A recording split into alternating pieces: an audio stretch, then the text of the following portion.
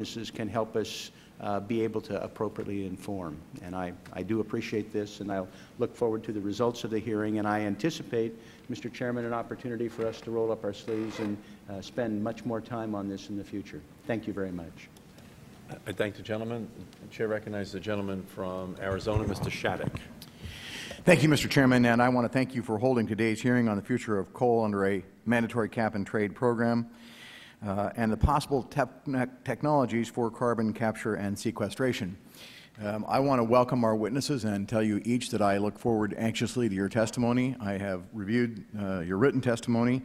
Uh, I think everyone on this committee understands the importance of this, importance of this issue. Many of my colleagues who are from coal-producing states uh, like to point out that we have vast resources of coal and that coal has to play a part in our energy future.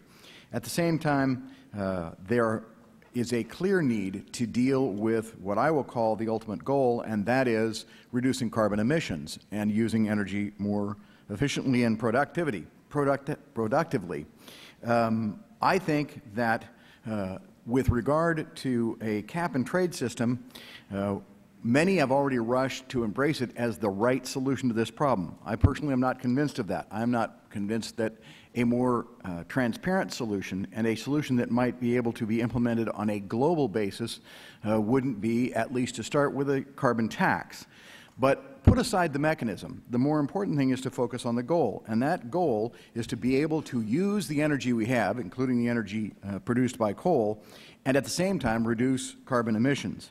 Uh, therefore, I am extremely interested in the testimony of these witnesses regarding the current technology surrounding carbon capture and sequestration, regarding its economic viability, regarding what it will cost to our energy, uh, and regarding um, how soon it can be implemented. I think those are serious questions. Over the August break, I went to uh, Japan to look at nuclear power being developed there, and I also went to China to look at uh, the energy situation there. China brings on, as you know, a new coal-fired power plant uh, every week, roughly a 250 megawatt plant. Um, and unfortunately, uh, they are largely without uh, any emissions controls at all, or at least not emissions controls that are currently being used. And they are clearly without uh, any mechanism to capture the carbon which is emitted by those plants.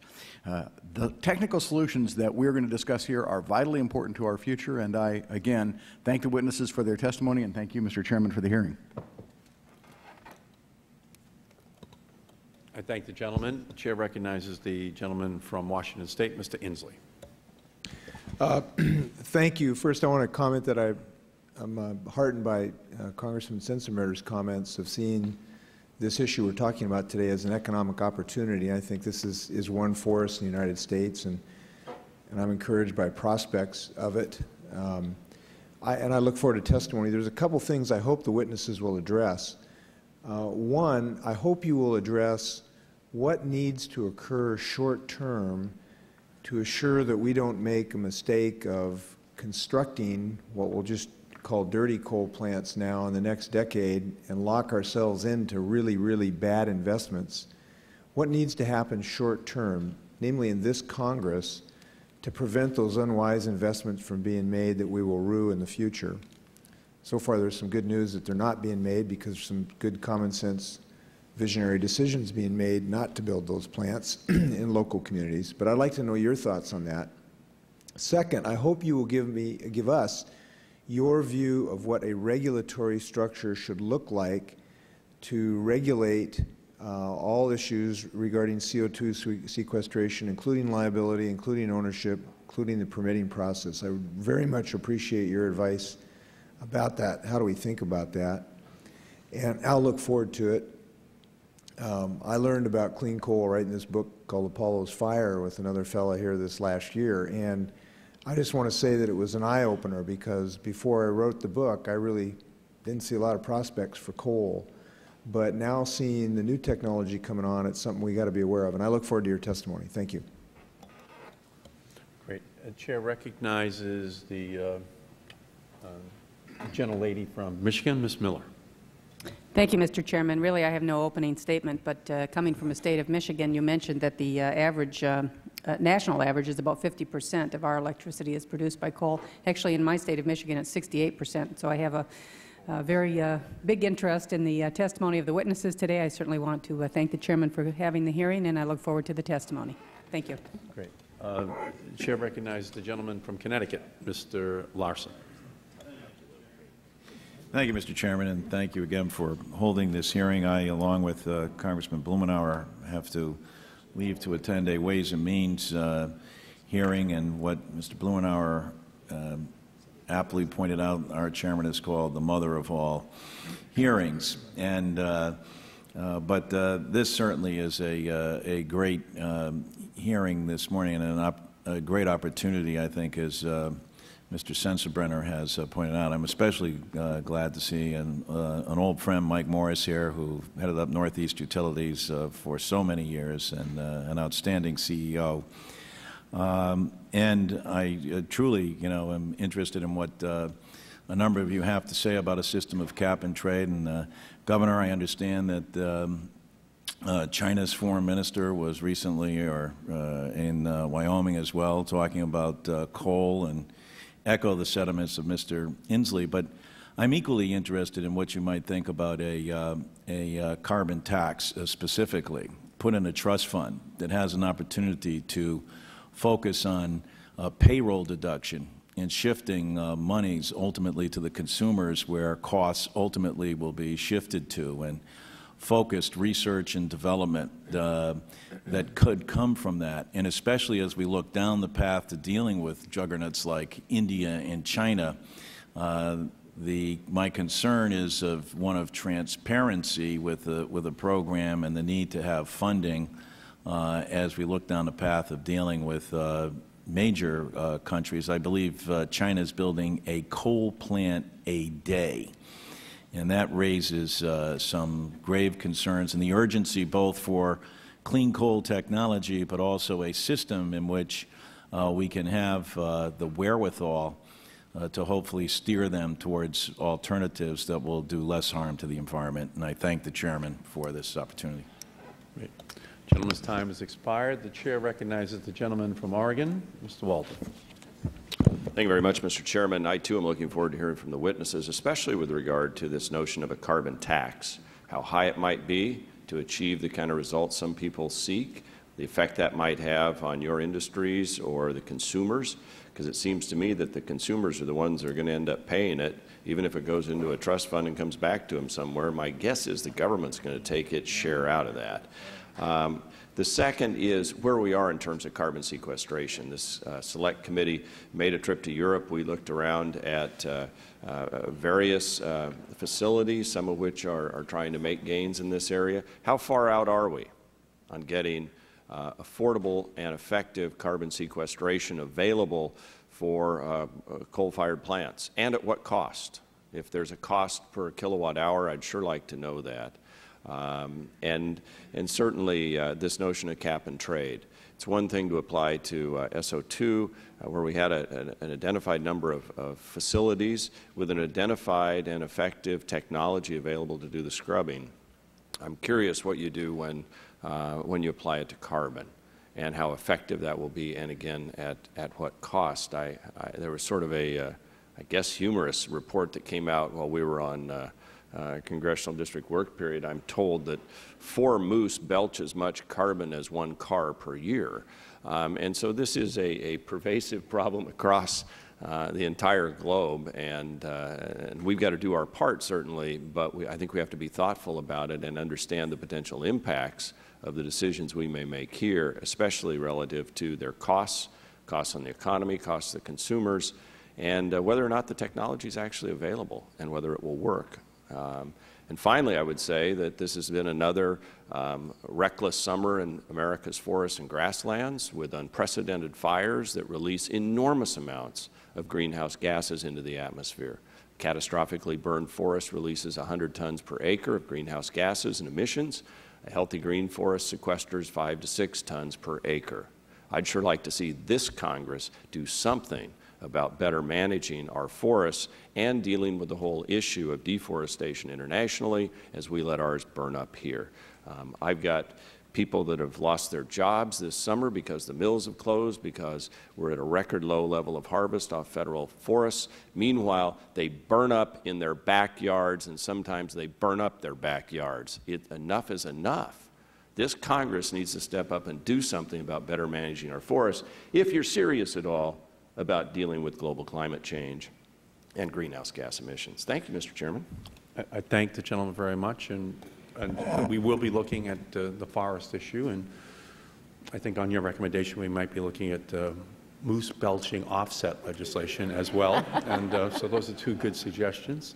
Uh, Let me turn and recognize the uh, gentlelady from California, Ms. Solis. Thank you, Mr. Chairman, and I want to applaud you also for holding this hearing uh, this morning.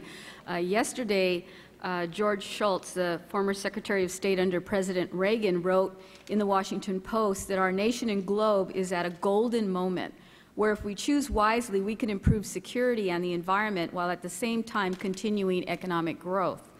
But we have to address two issues, in my opinion. First, we have to address the use of energy without producing excess greenhouse gases. And then second, we need to address the reduction and threat of national security because of our excessive dependence on oil.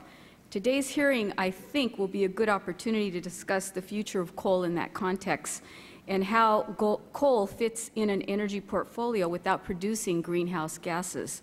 This is going to be a challenge for us.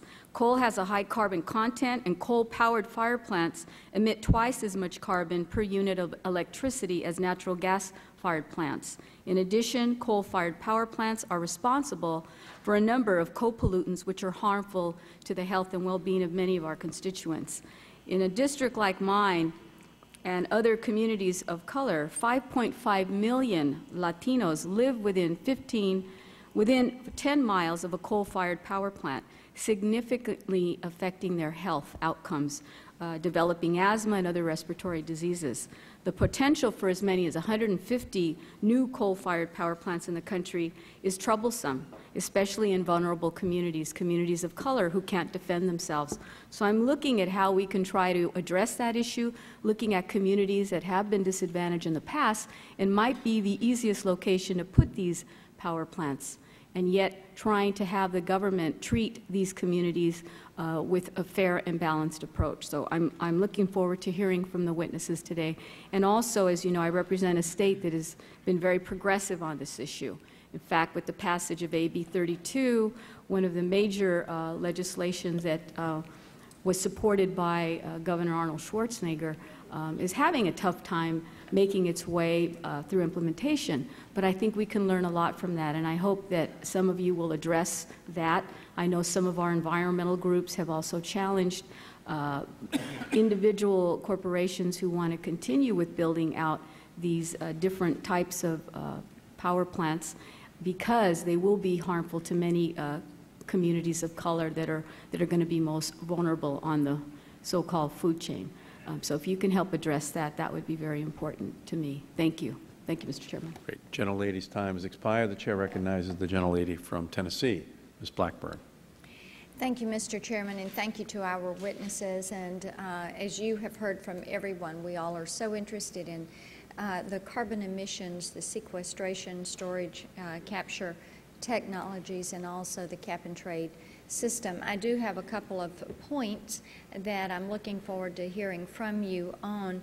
Uh, first of all, uh, in my list of concerns is implementing a mandatory cap on carbon emissions and the burden that that would place on the American economy. And some estimates that I have read are that the cost of the cap would increase the cost of electricity to the consumer by as much as 45 percent that is of tremendous concern to us that we would see this type um, increase. And I can assure you to my constituents in Tennessee and all throughout the Tennessee Valley, this uh, is a point that has not been lost on them. And what we have read is that possibly uh, Americans are not willing to spend that extra $40 a month when you look at uh, trying to stop the release of carbon dioxide into the atmosphere. Second is that carbon capture technology may not be the most effective method to reduce and harness CO2 emissions. Uh, current technology already exists, after all, in an efficient form that enable the industries to harness CO2 for other applications. And some of the reading we have had presented to us on that is really quite interesting and uh, definitely innovative. Some use the technology to recover more oil from wells, and some are using it to capture CO2 from power plants and car fumes to grow algae, which in turn is used to produce biofuels. So uh, I think we're looking forward to hearing your take on that.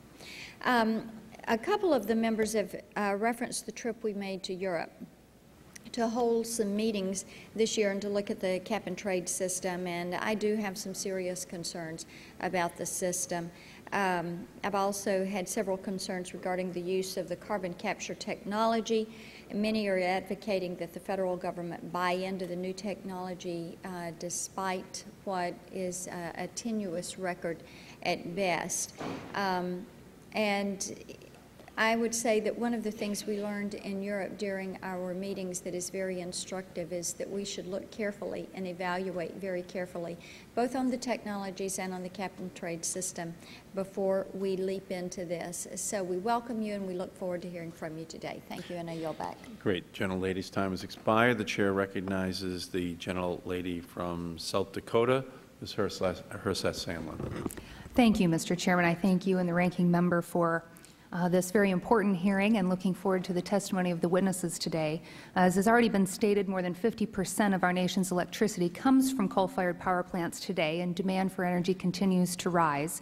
So we must find ways to use this abundant domestically produced resource in a way that's economically viable and environmentally sustainable. One way to do that, as has already been uh, mentioned in other opening statements of my colleagues is through capture and sequestration of greenhouse gases that are emitted as coal is burned, most specifically CO2. Uh, as I've indicated to the committee before, the Dakotas, uh, neighbors to the great state of Wyoming, uh, have an impressive uh, story to tell in this regard. Basin Electric is a large electricity generating cooperative headquartered in Bismarck, North Dakota, that serves much of the northern plains, including much of South Dakota. The vast majority of their power comes from burning locally mined coal. It also owns a subsidiary, Great Plains Synfuels, that turns coal into natural gas.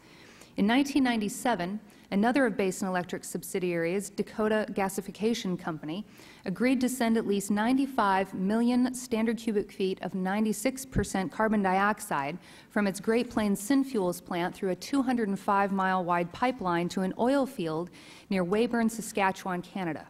Dakota Gas has been successfully capturing a portion of its CO2 emissions and transporting the gas to Canada since September of 2000. Today, Dakota Gas operates the largest carbon sequestration project in the world. Each day, Dakota Gas ships approximately 115 million standard cubic feet or 6,000 metric tons of CO2 to Canada. With the addition of another CO2 compressor in 2006, the capacity has been increased to 160 million standard cubic feet or 8,000 uh, metric tons daily. All told, approximately 6 million metric tons of CO2 have been sequestered since the project began in October of 2000. The CO2 is expected to be permanently sequestered in the oil reservoir, which is monitored by the International Energy Agency. This successful project indicates that such technology is available and we can make it feasible and economically viable. So I look forward to any uh, thoughts that the witnesses have on that technology and familiarity with that project and other issues related to geologic sequestration or other beneficial industrial uses of these gases and also looking forward to continuing to share the opportunities that the Dakotas have seized uh, as we deal with the issue of promoting energy independence and fighting global warming. And, Mr. Chairman, uh, before I yield back, I'm pleased to hear that we will be uh, addressing in more detail the issue of forest management. Mr. Walden and I have worked on that issue in the past on the Natural Resources Committee and uh, think it's another area, particularly in rural parts of the country, where we can help find solutions to the issue of, of greenhouse gases. Thank you, and I yield back. I appreciate that. Thank you. Uh, Chair recognizes the uh, gentleman from Missouri, uh, Mr. Cleaver. Thank you, Mr. Chairman. um, I, I'm pretty much convinced that the legitimate epicenter for the war on terror is in coal mines. That if we are serious about reducing our dependence on foreign oil, uh, we must um, hasten the development of the technology to produce uh, clean coal. I was somewhat alarmed to discover that the uh, Capitol power plant uh, burned uh, 17,000 tons of coal uh, each year, which produces about 60,000 tons of CO2. And I think, uh, following the leadership of our speaker and uh, the vision of our, our chairman, Mr. Markey, uh, we did pass um, H.R. 3221, which I, I think uh, uh, is revolutionary in that we are beginning uh, to install technologies um, for the capture and storage of CO2s. Um, I'm also, uh, in, in, in, connecting this with your testimony, concerned about uh, something the President quite often mentions, which is this FutureGen power plant. Uh, I'm interested in how real it is and if, in fact, it, it is real. Uh, what uh, do those of you who I consider to be members of the coal intelligentsia um, uh, believe we can expect from uh, this uh, FutureGen power plant. Thank you, Mr. Chairman. Great. Uh, the gentleman's time has expired. The chair recognizes the gentleman from California, Mr. McNerney. Thank you, Mr. Chairman. Uh, this is a, a very a difficult and interesting subject, and as I said yesterday in our hearing um, on uh, coal uh, to liquid, that uh, we need to keep an open mind on this. And uh, I have to find myself in agreement with the ranking member in, the, in uh, looking at this as a tremendous opportunity for our country and for many sectors of the economy that can take advantage of coal and, and use it in a way that does not impact the global warming issue. for example, I heard recently of, a, uh, of an interesting study that took place in Canada uh, that affects uh, states like uh, Wyoming that have a lot of wind and a lot of coal. Uh, if you put in a large wind, uh, wind power plant, about 20 percent of that wind power can be considered to be base load, whereas the other 80 percent is intermittent and can be used to process coal uh, to produce energy products and to produce construction materials. Uh, and so the coal and wind make a good partnership, uh, which was quite surprising to me because I'm a wind power advocate and I spent my career in wind energy. Uh, so it was interesting to see that development.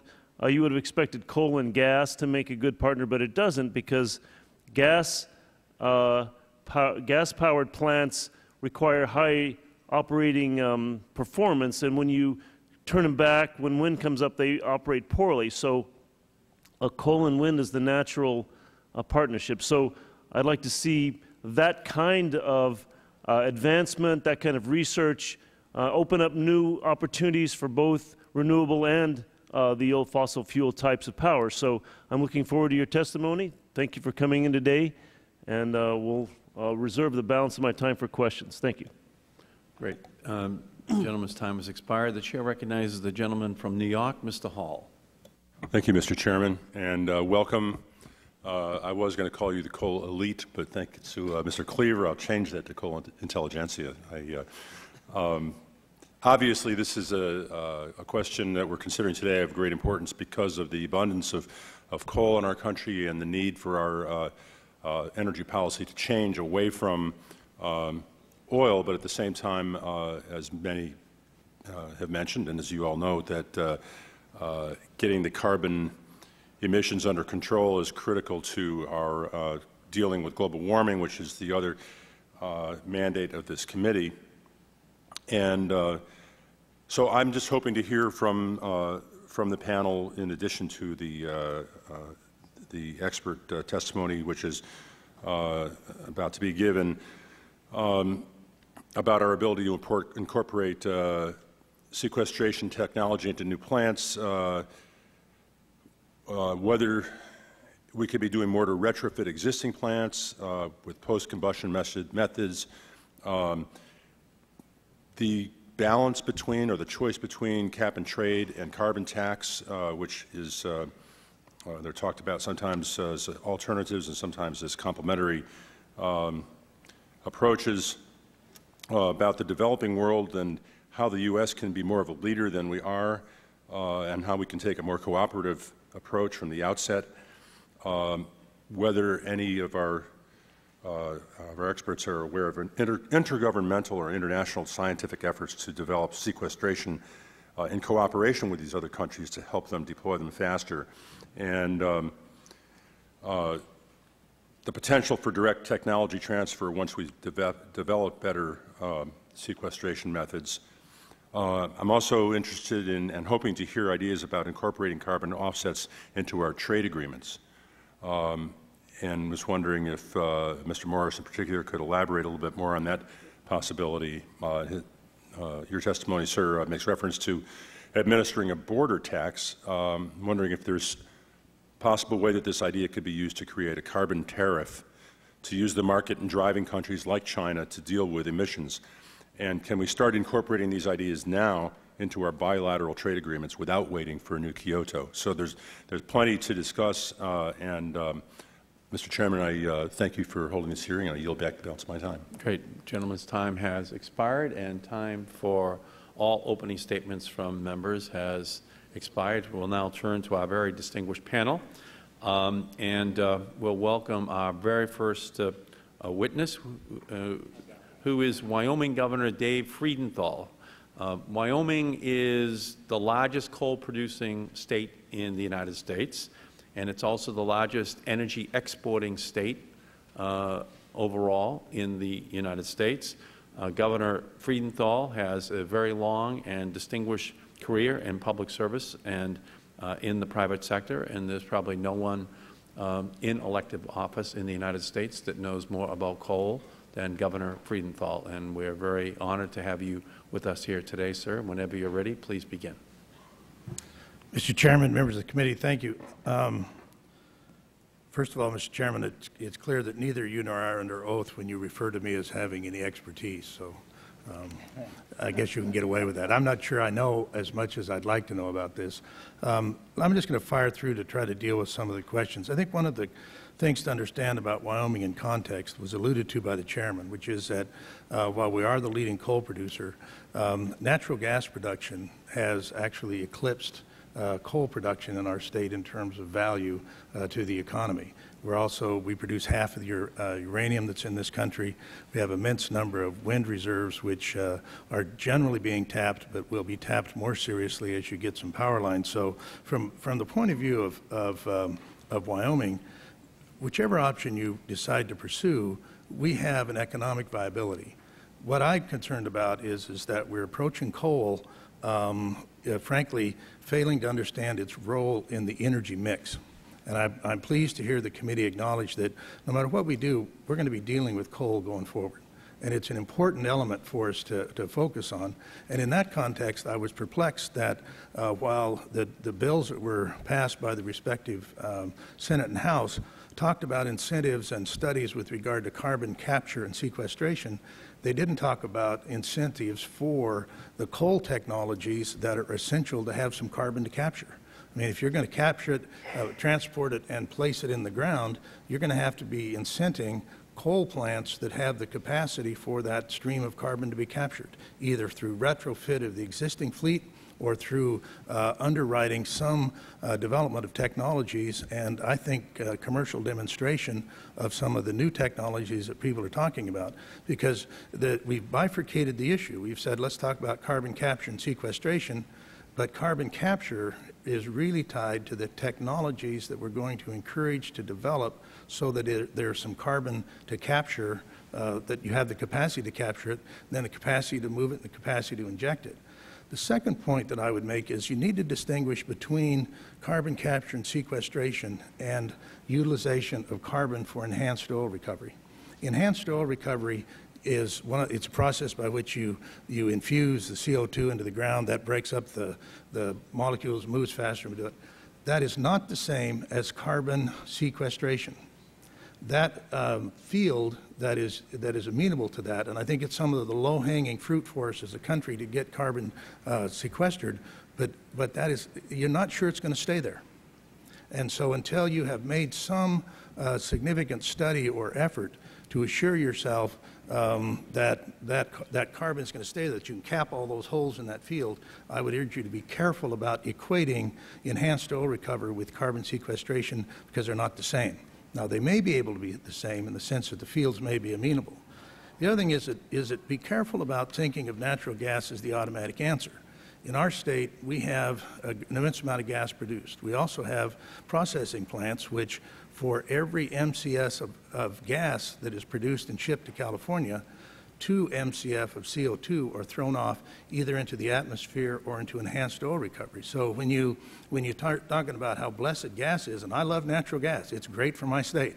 But I will tell you, in the context of your environmental calculations, it is, it is an answer, but it is not a perfect answer, and you need to be careful about going forward with that.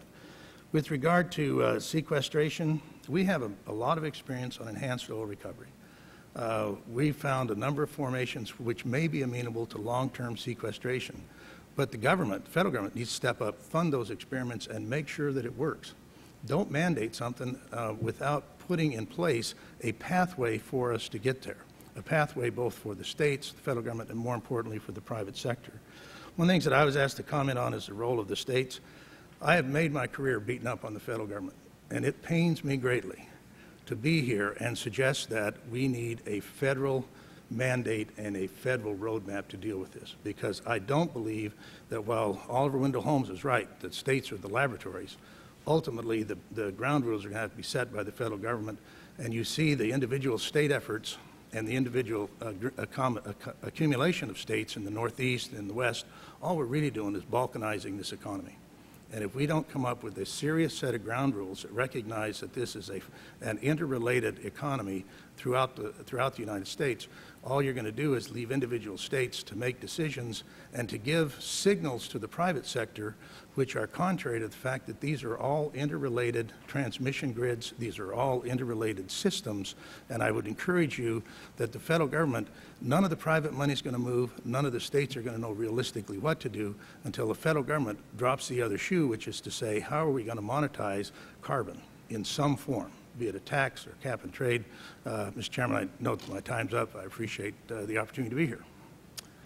Um, a little more than you wanted to hear, but... Um, no, no. It, again, you know, Mark Twain used to say that a, an expert is anyone who lives more than 500 miles away from the problem. And, uh, uh, and you, of course, live uh, in Wyoming. So it's a congressional expert that's the oxymoron, like jumbo shrimp or Salt Lake City nightlife. I mean, there is no such thing. Okay, so we need people like you, Governor, who uh, come into town who actually are the experts to help us to understand these issues. Um, I'm pleased to introduce our second uh, witness, Mr. Michael Morris. He's the Chairman and CEO of American Electric Power. AEP is the largest electric utility in the United States, serving over 5 million uh, consumers in 11 states, uh, and is also the largest consumer of coal in uh, the United States. Under Mr. Morris's leadership, AEP has been an industry leader in the development of carbon capture and storage technology. Uh, we welcome you, sir. Whenever you're ready, please begin. Thank you very much, Mr. Chairman, and thanks for the opportunity to be here. I'm intrigued by the questions that you've all racked up for us in your various introductory statements, and I know that given the time that we'll have to give uh, comments and thoughts back and forth, this will be an extremely meaningful session. I surely want to say hi to the Congresswoman from Michigan, who, while I was at Consumers Power for 12 years, had a lot of fun working with over the years, and you as well when I was at Northeast Utilities, Mr. Chairman. I see this challenge not unlike uh, the ranking member. It is, in fact, an opportunity Uh, in your introductory comments of me, you mentioned 5.1 million customers. I have an obligation to make certain that there's adequate energy supply for those men and women in those industries and those commercial operations 24 hours a day, seven days a week, every day of the year. And for the most part, we do that. When weather intervenes, sometimes we aren't there when they want us, and that is very disturbing to them, and understandably so. Coal, as the Governor said, is an essential part, as many of you said in your opening comments, to the overall equation of how we'll satisfy that demand across this entire country. Doing that with the respect for the environment is essential as well. To that end, we filed testimony to touch on many of those points, but let me subset on a couple of the specific questions that were sent to me uh, by the committee and by you. Uh, the fact questions three and four, what is my company doing about this challenge? And, and our testimony is full of those kinds of issues. But secondarily, uh, question number four, when is a practical carbon capture and storage technology deployment going to be available for this country? We would believe that in the timeline in the latter half of the next decade, we will have validated concepts that are already out in the marketplace, yet not out of the laboratory in the marketplace, to uh, show that, in fact, just as other flue gas issues or prior burn issues can be removed from the stream of carbon of, of the coal fuel, we'll have a chance to do that. We intend by 2009 at Appalachian Power in, uh, the, that serves the states of West Virginia and Virginia to do a 30 megawatt validation project on capture and storage there. We have worked with Battelle. We have subsurface storage actually at our Mountaineer site, and that would be our plan uh, by 2009. By 2011, 2012, we'll move that validation project out to Rogers County, Oklahoma, where at uh, one of our major northeastern public service Oklahoma stations, we'll capture uh, up to 200 megawatts of uh, carbon. There, we'll use it, as the governor suggested, in enhanced oil recovery uh, for the gas and oil fields in, in Oklahoma. We think that's an excellent way to go about doing it. For the new plants, and those are both retrofit opportunities, which is essential for us to continue to keep the fleet uh, out there for all of us in this country. For new plants, integrated gas combined cycle technology, ultra supercritical technology, which we would hope to build also in Oklahoma with uh, other partners, are part of the answer to use coal logically as we go forward. So to the validation projects in the integrated gas combined cycle, we believe by the middle of next decade to the beginning of 2020, uh, that technology will be there for us, and we as an industry, we surely as a company, will begin to deploy that as fast as we can. I think it's important to the notion of 150 coal plants to be built in some very short period of time. The EIA, unfortunately, is always wrong in their forecast, and there's no way in the world we're going to build 30 or 40 nuclear stations, no way in the world we're going to build 150 uh, coal-based generation stations in this country. Remember, in each and every of your states, we can't simply build whatever we'd like. We can only build what the Public Utility Commission, Public Service Commission, or regulatory body will allow us to build. Coal plants need to be built, and they, in fact, will be built between now and then as to the notion of putting uh, technology out there, what everyone will build at least will be coal capture ready stations, if not coal capture deployed technology, because it isn't there yet. This is a very different timeline than the one that we shared a few decades ago when my company and my industry were very strong in the notion of not now, not ever. This is a willing industry, a willing company, a willing people who simply want to have the timeline to allow the technology to develop so that, in fact, we just don't get a political soundbite, but we get something that works. To the gentlewoman uh, from the Dakotas, I was part of the environmental study that, uh, at American Electric Power Company, or excuse me, at American Natural Resources, when the gasification project was built. It has turned out to be an excellent idea. The day it came online, it made gas for $8 a million BTUs into a $2 market, and everyone thought it was a terrible idea. Today, it does exactly as you suggest. In the 60s, 70s, 80s, and 90s, we have used more electricity in this country than ever before every decade. The air and the water have gotten cleaner in each of those decades. If we are logical about how we do this, we can find an answer. As to the global nature, it isn't U.S. warming, it's called global warming. We need to make certain that China, India, and other countries join us in this endeavor. What the unions and American Electric Power have put forward and is being embraced, at least at the principal committee in the House, and being embraced uh, in writing in the Senate, is a concept that is WTO compliant, that ought to address that issue, and cause them economically to want to do something. Mr. Markey, in your opening comments, you mentioned the number of plants being built here. They will be carbon capture ready. The plants that are being built in China are not. That's a huge difference. This is a global issue, and there's no sense saddling the U.S. economy without addressing that global nature. Thanks for the opportunity to be here. I look forward to the questions and answers. Thank you very much. Um, our next witness is Mr. Carl Bauer. He is the Director of the Department of Energy's National Energy Technology Laboratory. A nuclear engineer by training, Mr. Bauer oversees much of the federal government's research and development efforts on coal-fired generation technologies and carbon capture and storage. He is recognized as one of the leading experts in this field. We welcome you uh, today, Mr. Bauer. Thank you very much, Mr. Chairman and members of the committee. I appreciate the importance that this committee has in addressing the future of the United States and the world from energy and the environmental impacts of its use and production. The economic prosperity of the United States over the past century has benefited from the abundance of fossil fuels found in North America. These fuels are important to our energy security and the global economic competitiveness we experience. However, these concerns of climate change and air pollution challenge our ability to continue to take full advantage of these resources. Recently, countries like China have seen dramatic growth, as we've mentioned earlier and the committee members have all recognized. But a point that you might not have seen just recently came forward. In the last quarter, China put online 30 gigawatts of coal-fired power generation. That's four to five times more than we've built in this country in the last five years. That's a very important point. India is also putting things online, and we believe that the Eastern European countries will also continue to depend on coal power generation as one of their mainstays. So this global climate change issue and CO2 from coal-fired and, and fossil-fired plants is extremely important. In 2004, the global anthropogenic CO2 emission amounted to 27 billion metric tons. By 2030, global CO2 emissions are projected at 43 billion metric tons per year. China and India and the other non-OECD Asian countries will contribute 57 percent of that.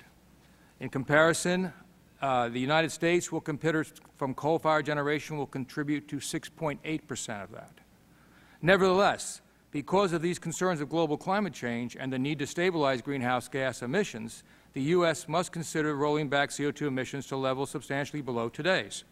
Carbon capture and storage technologies offer a great opportunity to pursue these reductions, as the committee has recognized in their opening statements. Fortunately, the U.S. and Canada are blessed with an abundance of geologic storage capacity. At the current rate of energy production use, we could potentially store all of the associated CO2 emissions in North America for a period of over several hundred years.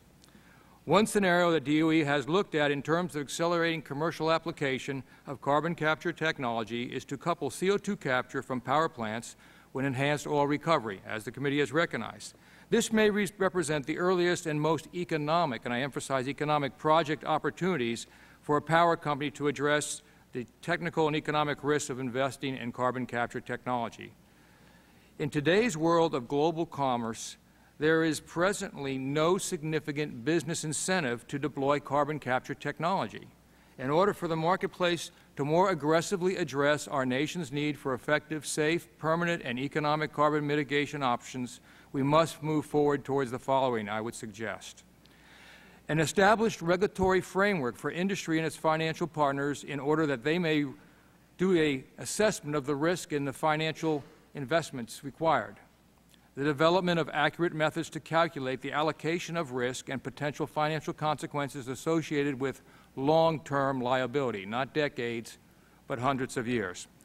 An international agreement on patent and intellectual property protection so those who can come up with the best ideas feel they have a chance to realize a financial return on their investments of their intellectual and financial capital.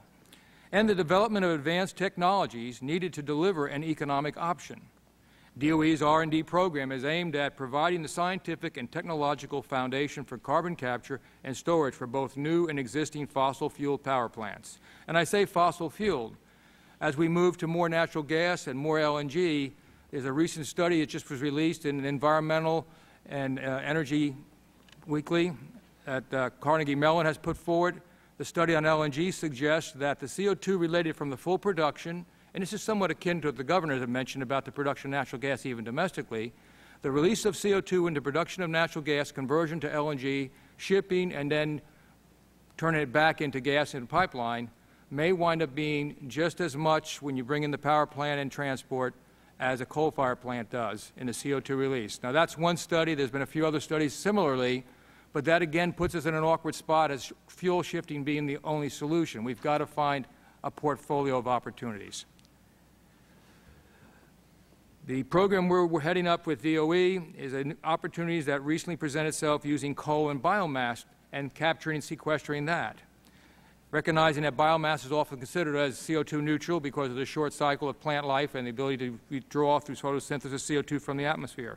However, if biomass and coal are used together and the biomass and coal resulting CO2 are all captured and sequestered, you actually wind up with a not only avoidance of release of CO2 from coal, but an actual effective withdrawal of CO2 from the inventory associated with the biological plant growth cycle.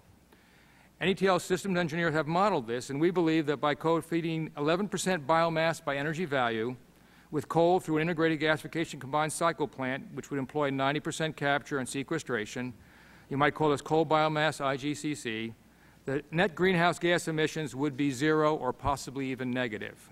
A similar theory applies for coal biomass liquids production with CO2 capture and sequestration.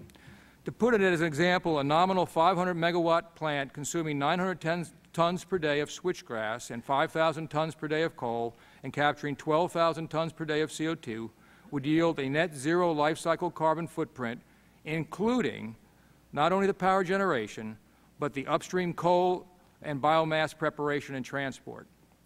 Carbon, DOE's carbon sequestration is addressing these challenges through applied research, proof of concept technology evaluation, and pilot scale testing, large scale deployments, stakeholder involvement, and public outreach. And those last two are also important as the technological because it's going to be done locally. I realize I've taken my time, and I thank you for the opportunity, Mr. Chairman, and your patience with me. Thank you. I appreciate it, Mr. Bauer, very much. Uh, now I'm, I'm pleased to uh, welcome Mr. David Hawkins, who is the Director of the Natu Natural Resources Defense Council's Climate Center. Um, Mr. Hawkins is a former Assistant Administrator of the EPA and has over 30 years of experience on air quality, climate change, and energy policy issues. Um, I've been a congressman for 30 years. David Hawkins has been testifying uh, on these issues for all 30 years up here. So there's nobody that knows more about this issue than you do. Uh, David, whenever you're ready, please begin. Thank you very much, Mr. Chairman. I have uh, 12 points to make and five minutes to make them, so let me get started. Uh, the first is that uh, coal use trends in the United States and globally, if continued, will make uh, protecting the climate impossible. But coal is abundant and relatively low cost. So trying to convince world leaders to uh, give up coal uh, would take a long time, time that we do not have. So a critical need is to keep new coal plants from being built unless they actually capture their CO2. Uh, that's the only way we can reconcile these two imperatives. About 3,000 coal plants uh, uh, are now on the drawing board, new coal plants globally around the world um, between now and 2030. That's uh, less than a 25-year investment period. Two-thirds of those are in, planned for the developing world, and 40 percent of them are in China. Now, if these plants operate for 60 years and they release all of their carbon dioxide to the atmosphere, the total cumulative emissions during that 60-year period would be 750 billion tons of carbon dioxide. How do we put that number in perspective? Well, it's 30 percent more than all of the carbon dioxide released from coal use in human history. And that's from a 25-year period of investment from one technology. So we clearly have a, uh, a problem that we need to address immediately. Fortunately, carbon capture and geologic disposal technologies are ready for use today. Unfortunately, they're not being used in the power sector. What we need, as has been observed, is a policy framework that assures that carbon capture and disposal systems are used for new coal plants and gradually get used on all coal plants. To do this, we recommend a three-part policy package to assure that carbon capture and disposal gets deployed without additional delay. First, enactment of a comprehensive cap-and-trade system in the United States. We need a comprehensive system in order to get the cut cuts in greenhouse gas reductions that we need and uh, to provide the flexibility that will keep costs low.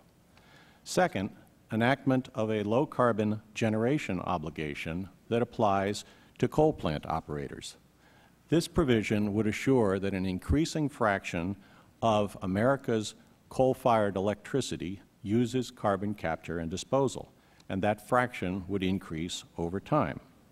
Now, by making this obligation tradable, the provision would spread the additional costs of those first carbon capture and disposal plants uh, over the entire uh, customer base of the United States rather than the single customer base of the company that happens to build the first uh, one or two plants.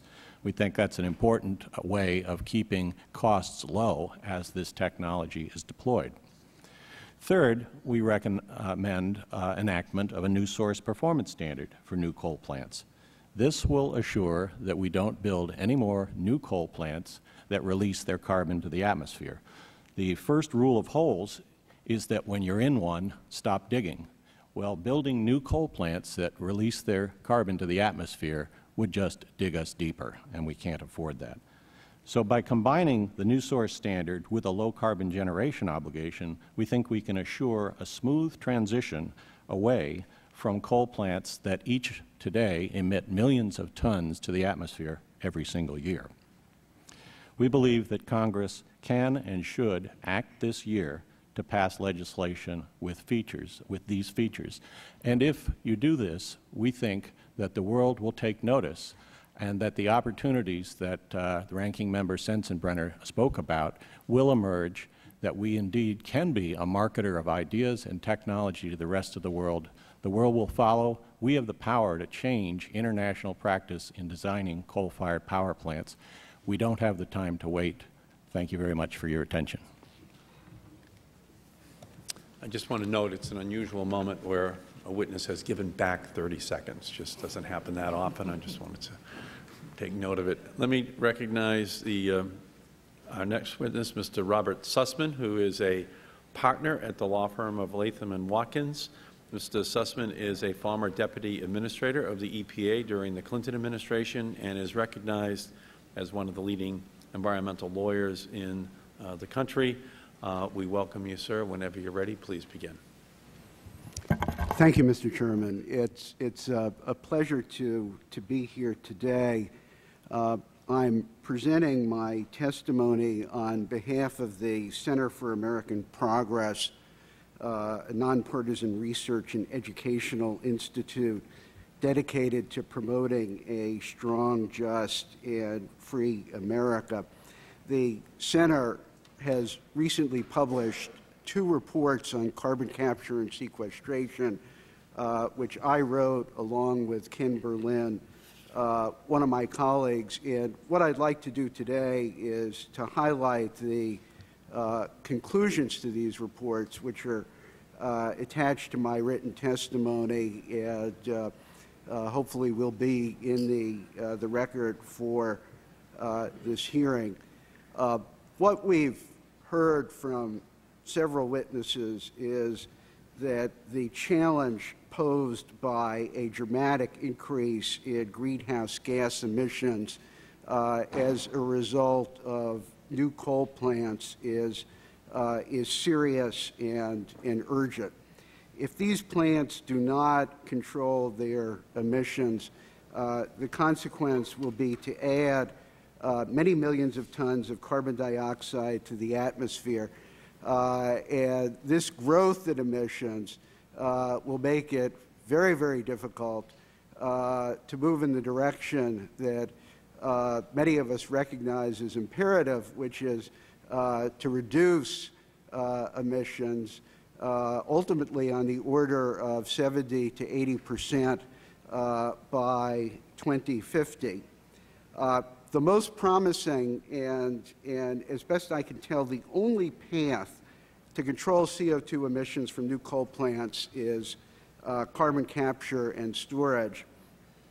The task facing Congress is to maximize the likelihood that CCS is widely deployed on an expeditious but realistic timetable and at a reasonable cost.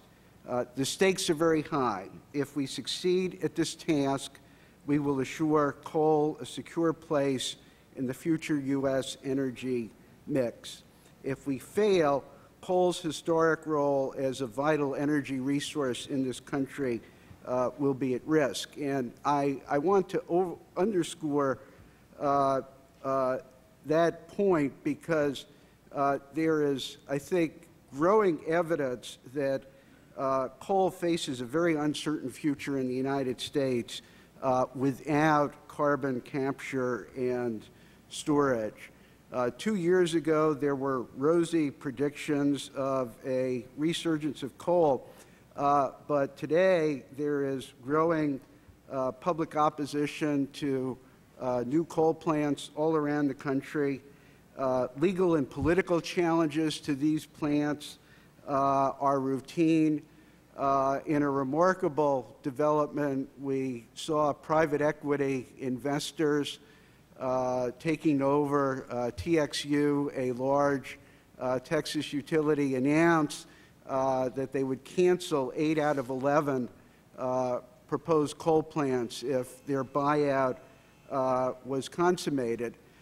Recently, in California, in California and Florida, we've seen some significant barriers erected to the construction of new coal plants. And uh, recognizing these trends, it's, it's interesting that in July, uh, Citigroup downgraded the stocks of coal companies across the board, uh, maintaining, and I quote, that prophecies of a new wave of coal fired generation have vaporized uh, while clean coal technologies uh, remain a decade away or more.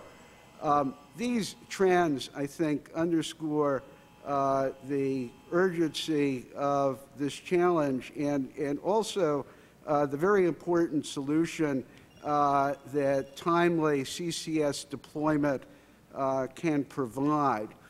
Um, let me turn to cap and trade programs uh, and to the very important question of whether the cap and trade pro proposals that are now on the table in Congress will lead to timely deployment of CCS. Unfortunately, our analysis uh, indicates that the initial stages of cap and trade programs are not likely to create carbon prices high enough to eliminate the cost differential between new coal plants uh, with CCS and those without it. Uh, this would mean that new coal plant owners are unlikely to install CCS systems until the emission caps for these programs become sufficiently stringent to increase the price of Mr. CO2 Sussman? allowances to at least uh, $30 per ton. This will probably not occur uh, until 2030 and Mr. maybe even later. Mr. Sussman, I apologize, sir, but your time has expired. Okay. So you'll have plenty of time in the question and answer period, I'm sure. Okay, thank you. Okay, great, thank you. And uh, our final witness is Mr. Stuart Dalton, who is Director for the Generation Sector of the Electric Power Research Institute. Mr. Dalton is a leading expert on coal-fired generation and carbon capture and storage.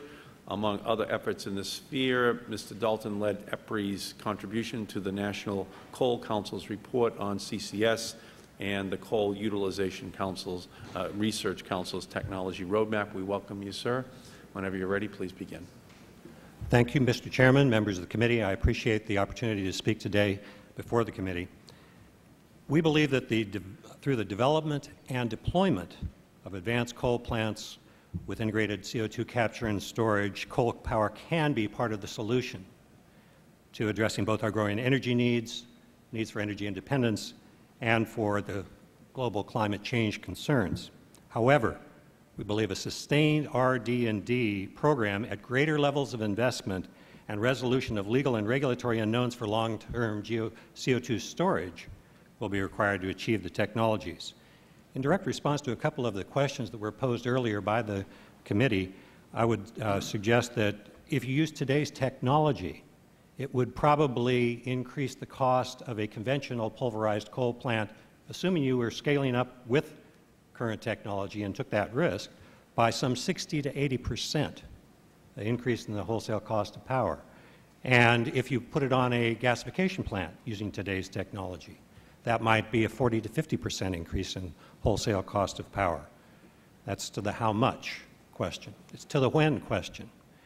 Certainly, that's uh, uh, heavily debated. We've heard uh, different comments on when, but three to five years to build it, three to five years to inject, and three to five years to monitor adds up to a significant amount of time. And that's one of the questions is when could these be built and proven in, in operation? We have a uh, program that's been developed with about 60 organizations from five continents uh, working, which has laid out an RD&D program to move the technology forward. We see crucial roles for industry and governments worldwide in aggressively pursuing carbon capture and storage. A couple of key points from my, uh, written, tech, uh, my written submission. Advanced coal technology power plants with the integrated capture and storage will be crucial to the U.S the availability of advanced technologies could dramatically reduce the projected increases in cost of wholesale electricity under a carbon cap, thereby saving the U.S. economy as much as 1 trillion by uh, 2050 in our estimation. The program has identified pathways to demonstrate by 2025 a portfolio of attractive, highly efficient power and integrated technologies. We see that with an aggressive program, multiple large-scale capture and storage demonstrations by the middle of next decade, and some commercial applications starting around 2020. It will take additional sustained efforts past the first applications to take the test technology down the learning curve in cost. We've identified RD&D that's in the testimony of 8 billion between now and 2017 and 17 billion by 2025 needs to begin immediately to fully test at scale. We believe that the House uh, Bill 3221 appears to be consistent with some of these recommendations. Major non-technical barriers must be addressed as well, such as CO2 storage and liability. Potential sale of uh, CO2 to EOR may help some of the early applications in specific localities, as we've heard. But we believe ultimately that the primary economic driver will be the value of carbon emissions uh, that results from any future climate policy. We have just produced a study, I hold in my hand, electricity, uh, the uh, power to reduce CO2 emissions, and a companion study earlier this year, electricity technology in a carbon constrained future. Emissions over the next 25 years uh, could be reduced, in our estimation, the study shows the largest single contributor is reduction by CCS technologies.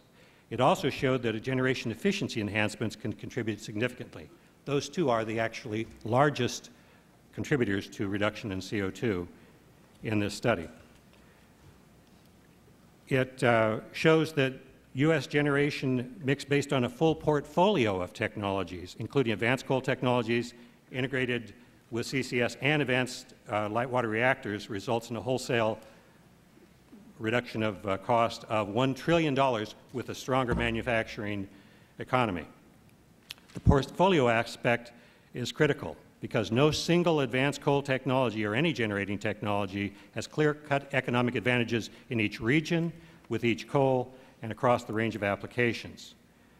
We want to uh, see how we can minimize economic disruption and that we believe lies in a full portfolio of technologies.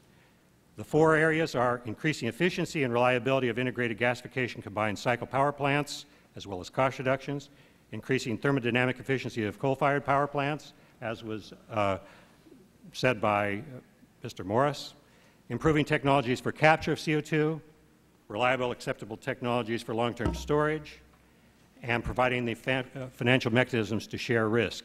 In short, a comprehensive uh, program is what's needed. We thank you for the opportunity. Thank you, Mr. Dalton, very much. Um, There are two roll calls um, on the House floor right now, with about six minutes for the members to go over there to make those votes. So uh, we'll take a very brief recess, um, and I think that we can reconvene around 11:15, if uh, uh, all of you can take note of that, and we'll take a brief recess.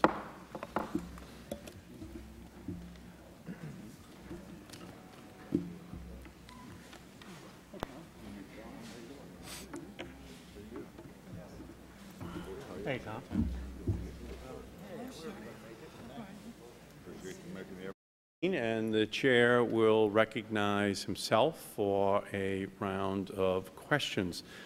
Let me begin with you, Governor.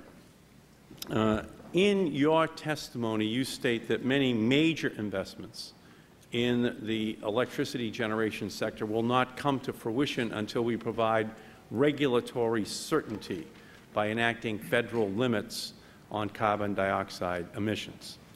Is it fair to say that further delays in federal action will impose significant costs and that it's in everyone's best interest that we take action as soon as possible?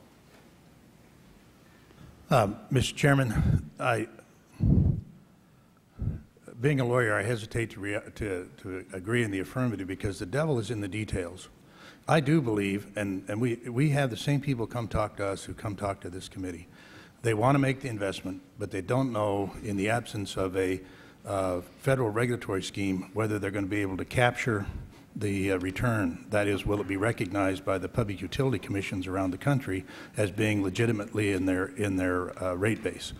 The, um, um, but having said that, the action that we take becomes important because it has to have some form of glide path that recognizes the relative availability of the technologies um, at a given state and time. So, for instance, I think if, if one of the suggestions that I've heard is that we would just say nobody can build any power plants today um, because um, uh, if they don't have carbon capture and sequestration. The problem with that is, is that in spite of all of the rhetoric, nobody has actually done carbon capture. Um, and so what you need to do is something that I think most of the companies are looking at is give us a clue what we need to do. We'll, we'll try to make this thing carbon capture ready, but we may need to proceed to meet our demand uh, with some level of construction. So I think the failure to act ice, uh, freezes in place a lot of investment money. If we act wrong, we'll permanently freeze it out. So we need to act in a way that says um, we're going to be realistic about the standard. Here's what it is. Here's your guidance. If you do this, you can get your recovery. Now, you cite a projection that uh, GDP will decline by 400 to 800 billion dollars Mm-hmm. If CCS is not uh, deployed. Can you expand on that and the likely costs? It's one of those uh, numbers that my staff picked up. It's either out of the MIT study, uh, I think it's out of the MIT study, um, because frankly, um, as I admitted before, I'm a lawyer, so I don't pretend to have the answer. But, but what we're saying is, is that if we don't um, act, uh, and somehow we act inappropriately, I think those are the costs.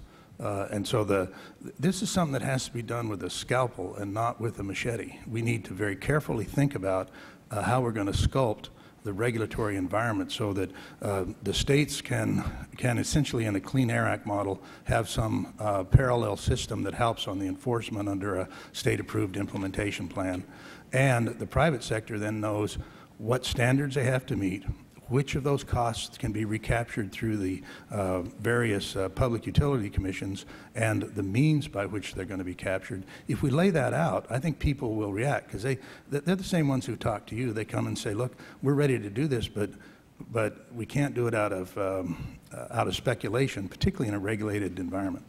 Can I ask you, uh, can I ask Mr. Morris this? Uh, What does carbon capture ready mean to AEP in terms of the technology you're going to install?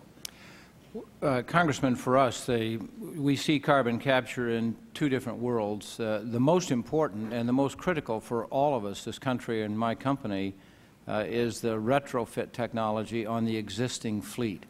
Uh, because we as a nation, uh, based on, on the comments that you and others made in your introductory uh, timeline, point to the notion that over half of the, today's generation fleet is coal-based. Actually, more than half of the megawatt hours produced and therefore used to fuel the U.S. economy is coal-based. So we have to find a way uh, to capture on the existing stations. And uh, that's why we're going forward with the validation projects that I mentioned in West Virginia and in Oklahoma so that we can, across our entire fleet, uh, put that technology to work, presuming that the validation undertakings work. I, like the governor, am a lawyer environmentalist, so I'm not bothered by the engineering challenges that my team constantly tells me about. I'm blessed at American Electric Power having among the best engineers for over a century. Uh, we've made many, many uh, breakthrough technological changes in this industry, and we think we're doing that again now. Secondly, to the comments that David made, to the comments that the governor just made, we see this as a challenge for the new stations as well. Uh, I would not argue that you cannot go forward at the state level and get authority to build a carbon ready and as soon as technology is validated, deployed, power plant built without federal intervention, without a federal program. I think that there will be bold states that will take that step. As I think the committee knows clearly in our testimony, we have such applications in front of the Commission in the state of Ohio, and they've given us the preliminary go-ahead that is now being challenged at the Supreme Court level in the state of Ohio, which is the jurisdiction of, uh, of appeal by right. And in West Virginia, uh, we're going forward with an integrated plant. We filed that to the West Virginia Commission and Virginia. Our Appalachian Power Company serves uh, both of those particular states. So uh, we have every reason to believe that the potential to get those plants approved without a federal process will work. But it is a societal cost, and it is a states' rights issue. And when you think of Virginia and West Virginia, very important coal-based states in this country, uh, it, may, it may well be in their best interest. Clearly, Governor Manchin is a supporter of it. Governor Kaine appears to be a supporter of the issue. But it is the charge of their state regulatory commission to make those decisions.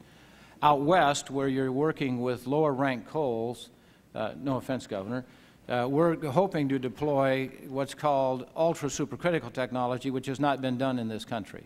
It's been done in Germany, it's been done in Japan. Higher temperatures, higher pressures, less fuel in for megawatt hours out. More expensive than supercritical, no question. That issue, and in fact, this very day uh, in, uh, in Louisiana, excuse me, in Little Rock, Arkansas, we have a team testifying in front of the Arkansas Commission seeking authority to do that.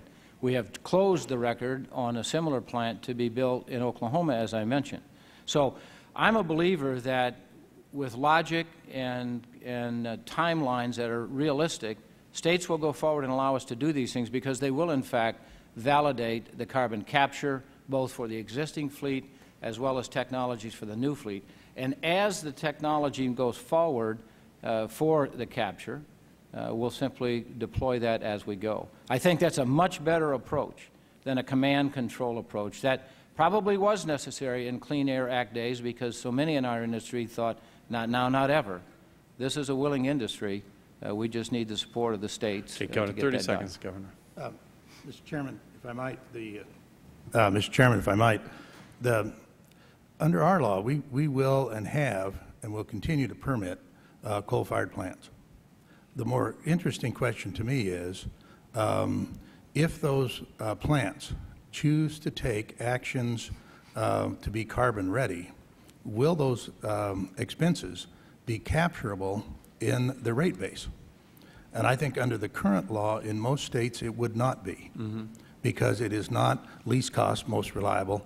Um, whereas the, and so I'm, I'm, I, I do believe we're going to continue to build plants, but if we're going to want to send a signal to people that says, as you build them, you should um, contemplate this, we also have to send a commensurate market signal in some sense that they're going to be able to recapture those costs.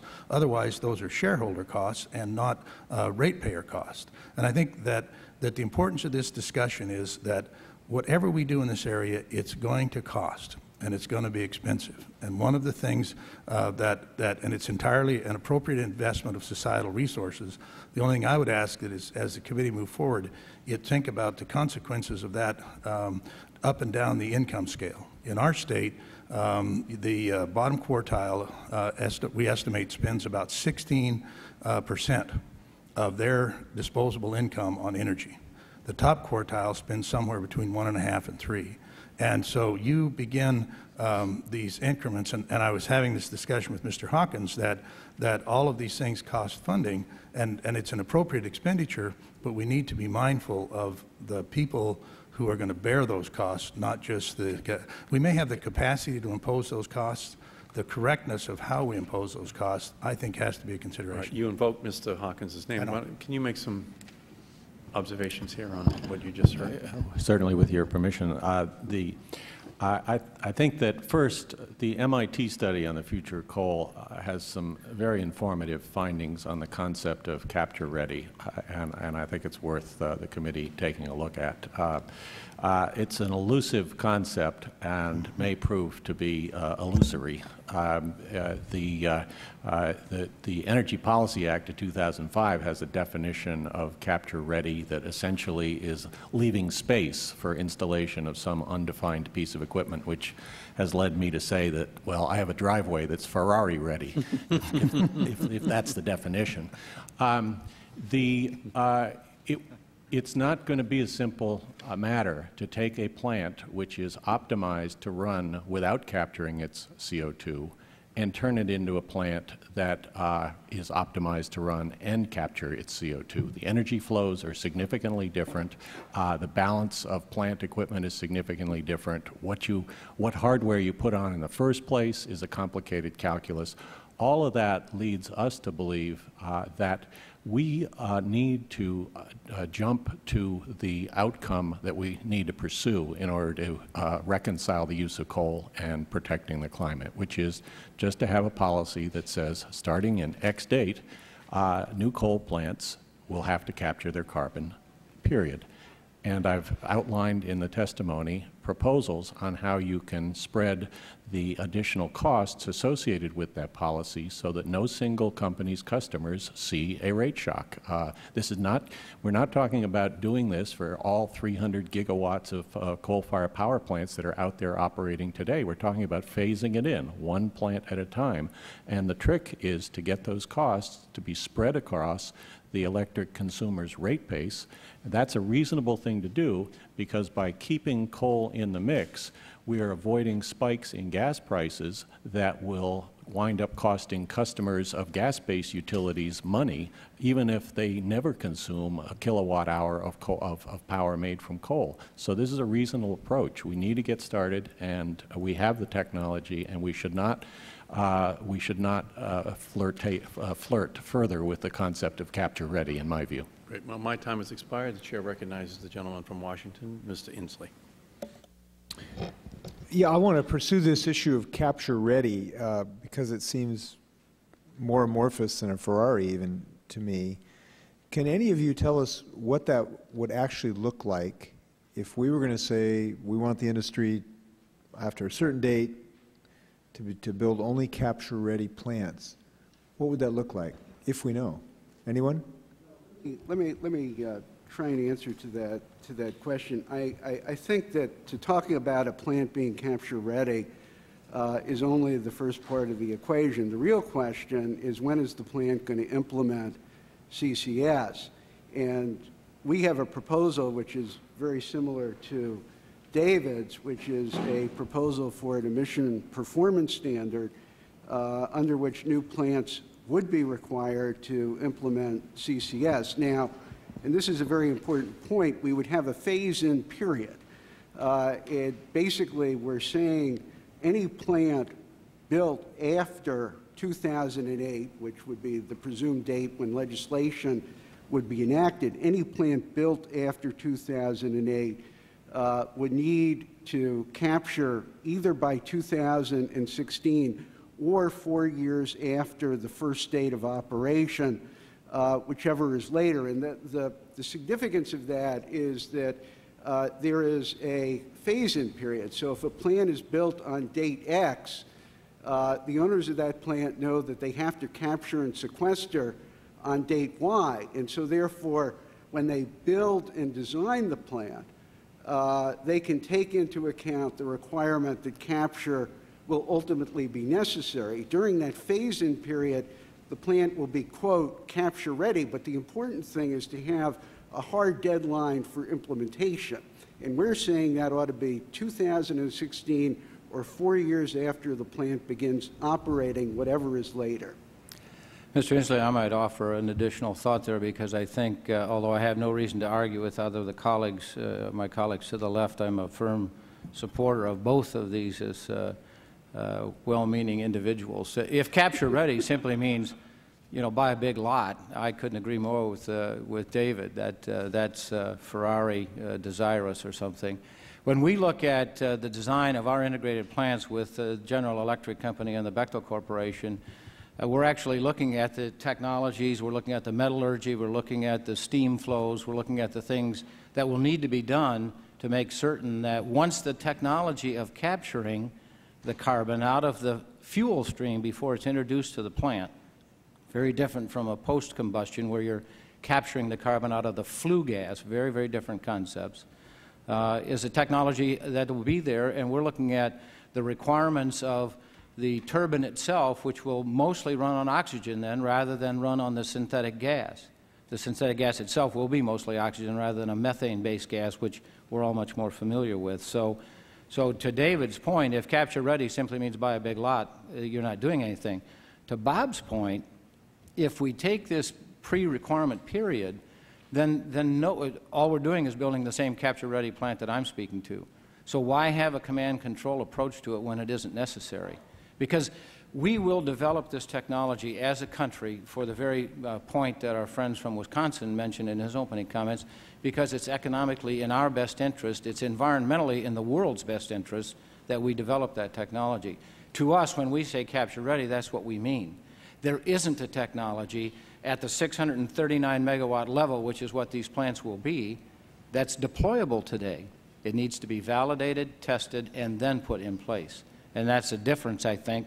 Not a great difference, but a difference between what we're talking about.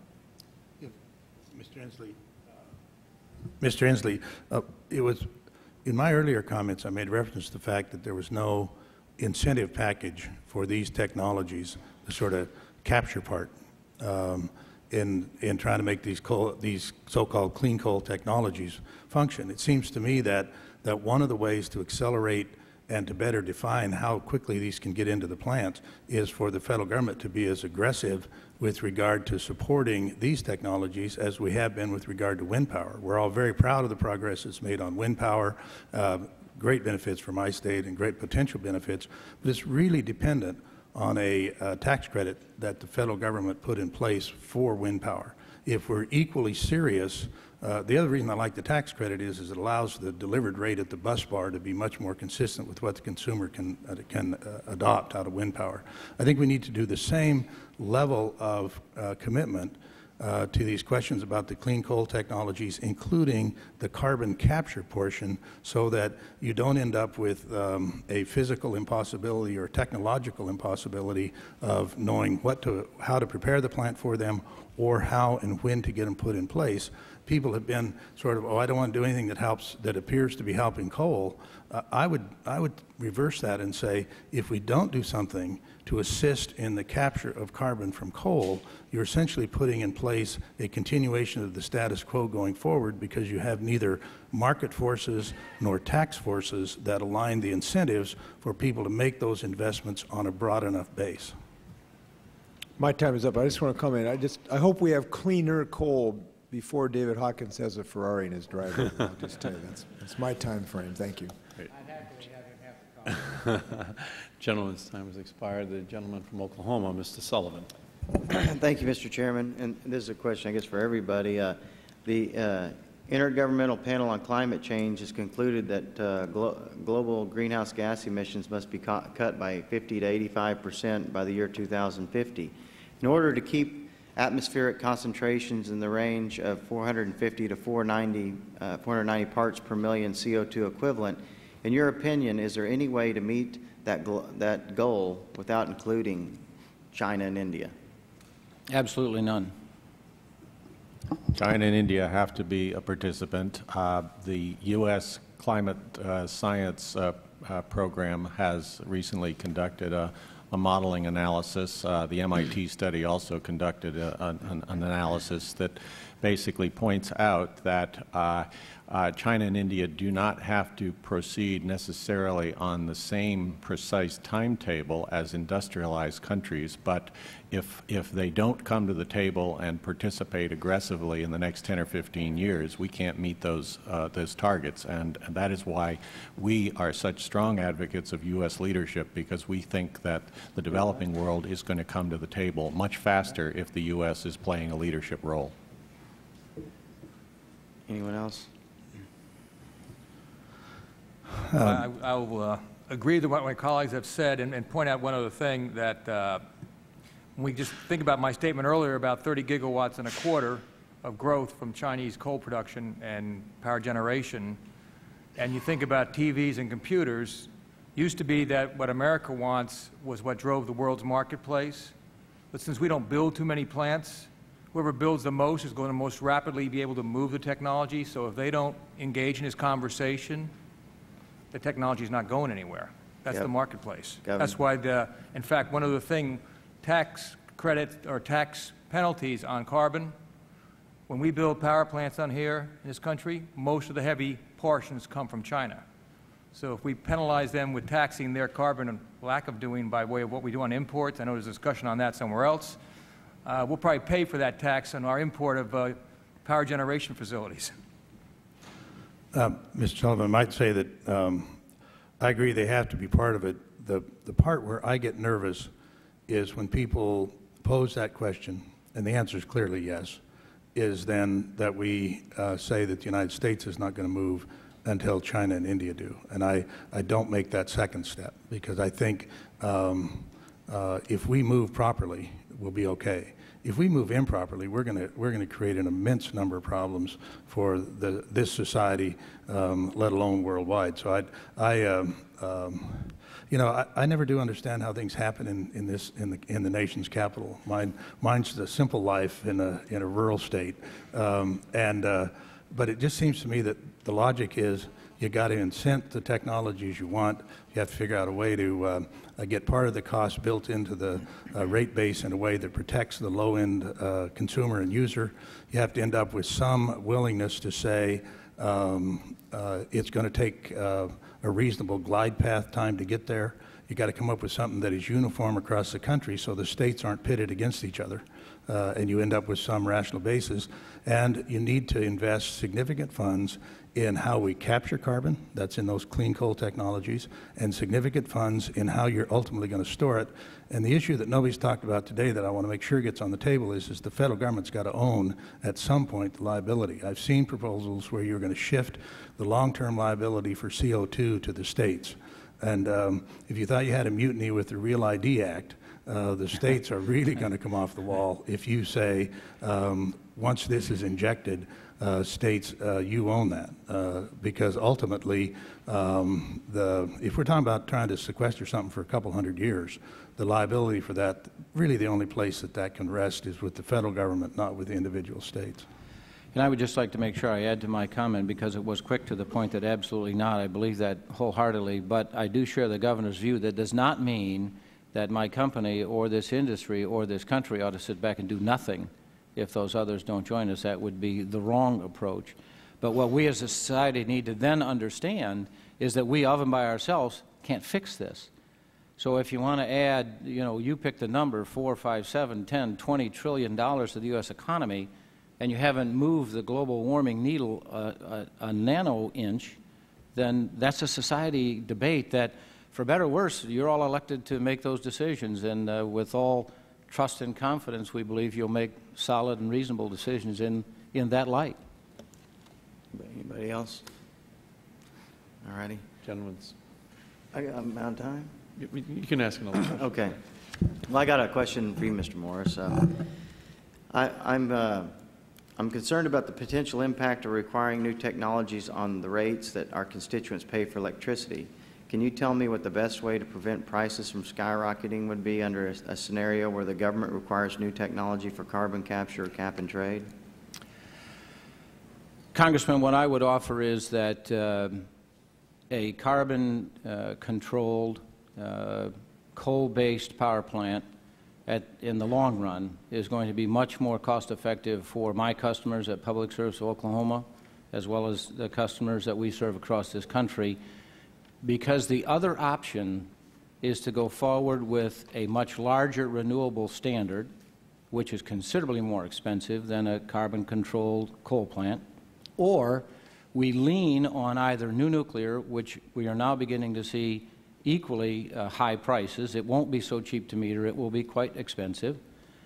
Uh, or we, we lean to natural gas, which, which you know, even in Oklahoma, a very major gas producing state, as is the governor's, we're an 18, 19 trillion foot supply.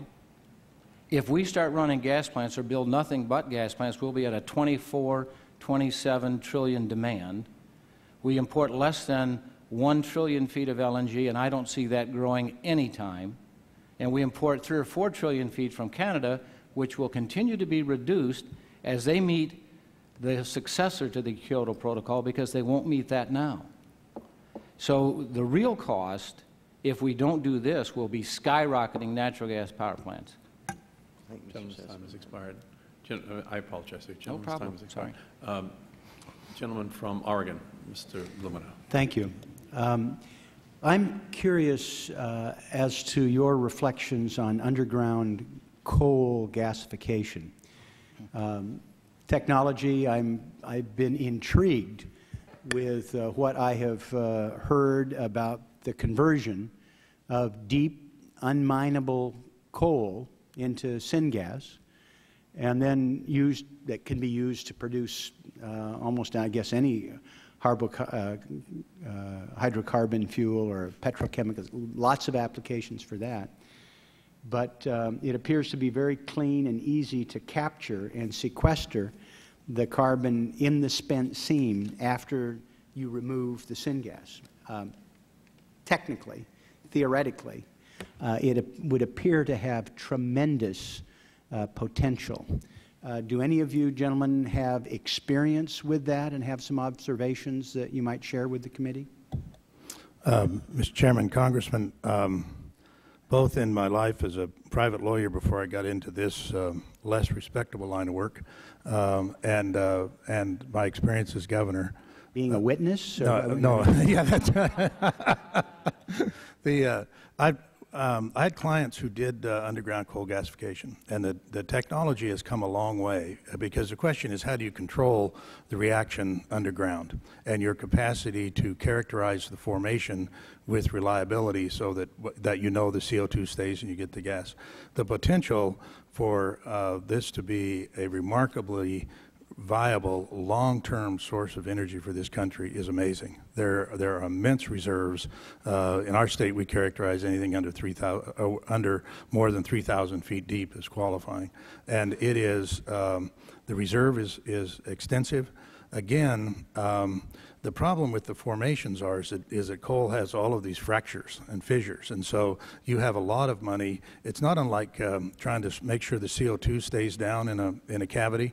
You have a lot of money invested in characterizing the formation so that you can, with reliability, predict your capacity to control the gasification process as well as where the uh, off gases are going to go. But it is one of those things that, that I would encourage the committee to think about. Um, again, if you want to advance the rate at which the private sector pursues the development of those technologies, the way you do that is to set up some form of a tax credit that is essentially technology neutral and allows them to say, okay, I mean, Shell has an approach that they like on gasification. I know a number of other companies have different technologies that, that, are, that they'd like to try, but right now, um, the, the, the, the assured price for natural gas is not sufficient for them to justify that long-term investment. But it is, I think it, it is one of those things, and, and I think you're, you're, you, uh, I think you've hit upon one of the real nuggets for this country, um, notwithstanding that I may have some bias since we have a lot of that resource, but, but it really is there and it allows you to have that, that reaction take place in a contained environment. Thank you, Governor. Other comments? Well, I, I only have a familiarity with it based on reports and talking with some researchers in the field. Uh, and I think the governor has identified uh, one of the first issues, which is controlling the, uh, uh, the conversion process. Uh, another issue that's a challenge is dealing with the combustion products. a lot of these coal seams have groundwater that is flowing through them. And that groundwater once you've you've uh, taken a an area and and, and su subjected it to the gasification pro process, you're going to have a lot of byproducts. Uh, those byproducts may have a lot of uh, complicated and uh, rather unfriendly uh, chemical compounds associated with them, and you have to have a plan for managing the potential intersection between that groundwater and all these combustion byproducts. These things are not necessarily impossible to solve, but they will require energy, they will require dollars. Um, this is a concept that's worth looking at, worth researching. It's probably a couple of decades behind the surface gasification technologies that are commercially proven today, though. I may just add, I think the governor did a great characterization. I think David also uh, reflected on some of the challenges. Uh, we are involved in some of this preliminary work. Uh, the country of Brazil is looking at doing this, as well as some other countries in Eastern Europe. It has a great deal of promise. There are substantial needs, which I think are similar to the sequestration storage issue of how do you characterize, how do you monitor, how do you avoid unintended consequences to groundwater or other things in the area that have to be dealt with. So again, uh, the things that are being done around carbon sequestration and storage actually will have benefits, just as the things in oil reservoir mapping have had benefits for storage characterization. Thank you. Mr. Chairman, um, I would hope that there may be an opportunity for us at a subsequent hearing to explore this in greater detail. Um, I think there are actually other applications that are taking place uh, in North America, in Canada. Um, there has been, as Mr. Bauer mentioned, uh, some experience in Central Europe. Um, I think it holds great promise. It's something that isn't commonly talked about and looks like it could marry a number of uh, the problems and opportunities together. And if it would be possible, I would appreciate your we, consideration. We will do that. Uh, I, to the gentleman from Oregon, obviously coal is the biggest problem. So we have to explore all of these uh, potential solutions. So Thank it will, you. be, it will be done. Thank you. Um, I just want, I'm going to recognize the gentleman from Missouri, Mr. Cleaver, but you should know that uh, we promised uh, Governor Freudenthal that he could leave at 12 o'clock, and it's three minutes of 12. Um, and so uh, he made this request long ago. So if you have any questions for the governor, uh, you got three minutes on the clock for him, and uh, we thank you, Governor, for being here. Your testimony has been excellent. Thank you. Thank you, Mr. Chairman. The gentleman from Missouri. Thank you, uh, Governor. Um, thank you very much for uh, being here, and, and your uh, responses have been uh, uh, very uh, helpful. you know, to some degree, you you do understand what it's like to be on this side of the of the table. So I, appreciate your your concerns. I don't I don't have any questions for the governor necessarily. I, am interested in, in how we, you know, successfully sequester uh, but, but it seems to me that uh, if you turn loose the American ingenuity, we can solve a lot of those problems. The, one, the one problem I'm not sure uh, is going to be uh, resolved as easily is the issue with China and India, and to a lesser degree Southeast Asia, uh, including Indonesia. Um, if we are going to end up paying higher prices um, in Walmart uh, by imposing some kind of tariff or, um, you know, if, if, if, we, if our incentive is to, to, to force the Chinese and uh, the Indians to, to um, uh, use more money, pay more money uh, to satisfy us. And if we don't want to pay more at Walmart and Target, what, what in the world are we, I mean, are, are, we going to do? I mean, we, as I think we're learning, nations don't obey us well. And, and so, I mean, just saying you better uh, is not going to work. So what, what are we going to do? Congressman, if I might, the International Brotherhood of Electrical Workers President Ed Hill and our company, American Electric Power, have put forth, now with the support of the AFL-CIO, UAW, the uh, mine workers, the boiler makers, uh, the concept of creating a World Trade Organization compliant tariff requirement for those products which we would import for those nations that have not addressed the issue of global warming. Because again, what, what we're trying to what we're trying to address ourselves here is the issue of global warming, not U.S. warming. If in fact you are concerned about the climate uh, process that may or may not unfold as time goes forward if we do nothing about this as a world. So the notion that there may be an additional cost for a good at the Walmart store or the Target store is a societal reality for the globe. Believing and, and dictating to those countries what they ought to do will not work. Uh, To your point, we now know that in any one of a number of uh, demonstrations.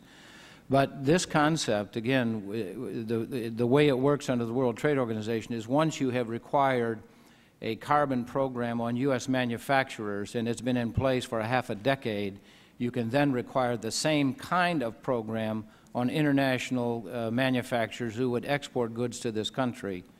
And, and that's the plan, and quite honestly, it's gaining very reasonable support. Both the Bingaman uh, Specter bill have that in it. The Lieberman Warner uh, bill has a sketch of that in it. Uh, we have heard, at least, from the principal committee under uh, Chairman Dingell and uh, Committee Chair Boucher, uh, that they're very much in support of that concept as we go forward. That is one way to go about doing that. The thing that would worry me even more about that as we go forward, however, would be how would we verify that those programs are, in fact, being followed. And so with this particular piece, we don't need to be as concerned about what they are or are not doing there. We just know that that's an economic driver that will eventually cause them to move in the right direction, as will their own populations. I think the New York Times this weekend had an excellent piece on the, on the general feeling about the population in China in particular. But you're right to point out Indonesia, Brazil, there are many other countries involved. Thank you. If I could just comment, there, there is an opportunity for a virtuous circle uh, here. Uh, uh, NRDC has an office in Beijing. We now have nine people on staff there, and uh, we spend most of our time analyzing uh, the uh, Chinese energy economy and pointing out the bottlenecks to growth that are represented by the inefficient processes in industrial production and in power production, and trying to make the case to Chinese officials that by adopting better standards for end-use efficiency, better standards for production efficiency, they can actually have more dollars go to value-added products and fewer dollars go to BTUs that are moving around in the economy. And the adoption of the kind of program that uh, Mike Morris just described by the United States could be just the added extra kicker to kind of help the Chinese officials to make this happen. Because right now you have tension between the national government. A lot of the officials get this problem. They understand it. But the provincial governments are making money hand over fist building power plants to feed the power-hungry east coast of China.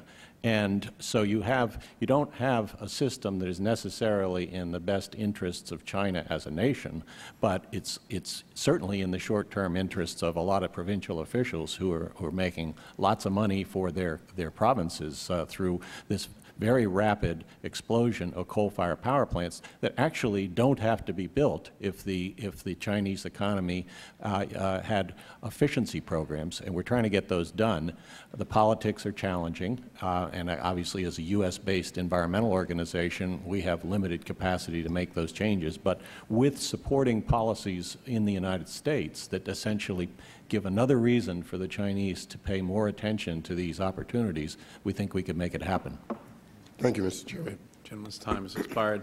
Uh, Do any of the other members have any, does anyone have a final question they'd like to ask Mr. Inslee and Mr. Blumenthal, Mr. Blumen- Blumenauer? Um, Mr. Cleaver, do you have any? uh, No, thank you. Great. Um, Well, let's do this. Let's, let's in, um, let us in uh, reverse order um, ask each of you uh, to give us your one-minute summation of what it is that you want the committee to remember from your testimony. Um, uh, As we deal with this energy bill over the next uh, uh, uh, month or so, we'll, there's going to be a, an- a- a- a city that will turn its attention to this climate change issue and cap-and-trade legislation. So uh, tell us what it is that you want us to remember as we're moving forward. We'll begin with you, Mr. Dalton. Thank you, Mr. Chairman. Uh, First off, I'd uh, like to point out that the increased efficiency and integrated testing at full scale is important uh, for these technologies relatively quickly, even before full-scale commercial uh, uh, installation.